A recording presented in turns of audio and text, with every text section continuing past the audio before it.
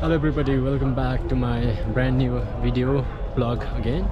So today i'm gonna take you to one of the famous and popular temples in nepal and that's named Pashupatinath temple so it's probably one of the oldest temples in nepal. And keep watching because i'll be showing you around the temple